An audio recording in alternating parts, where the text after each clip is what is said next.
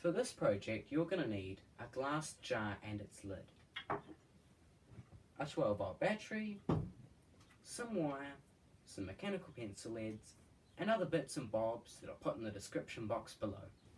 First of all, make two holes in the lid of the can with a hammer or a nail. Then cut and strip a piece of wire and feed it through the hole of an alligator clip like that. Do that again. Then feed one of the wires through the hole you made in the lid like that. Then seal the hole with some blue tack. And do that again. Next, um, put a bit of tape on the bottom to make sure that the wires don't move.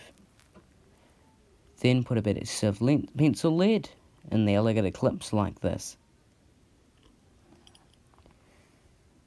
Then add a candle and light it, making sure you've got some um, you've got some water nearby, just in case.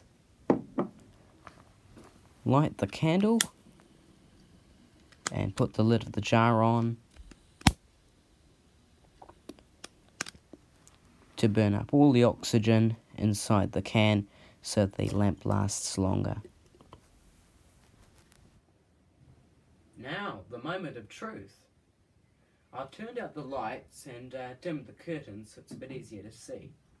So the next thing you're going to want to do is connect one terminal of the light bulb to the battery like this.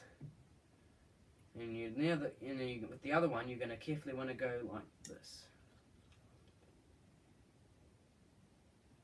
Hey, it works. Well, it's burnt out now, but that's a brief demonstration of how the first light bulb worked. Well, a bit like that anyway.